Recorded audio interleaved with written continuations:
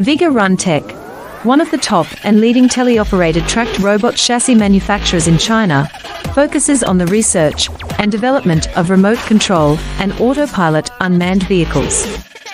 Remote control lawn mowers and remote control chassis are our current main products. The remote chassis is beautiful and strong, and the body is reinforced to carry heavy loads. It uses the mature remote control technology that has been applied to remote control lawn mowers.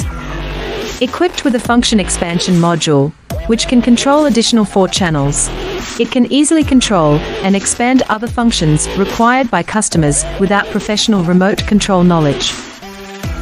On the basis of our chassis, you can freely add other functional modules to create a new vehicle that meets your own needs.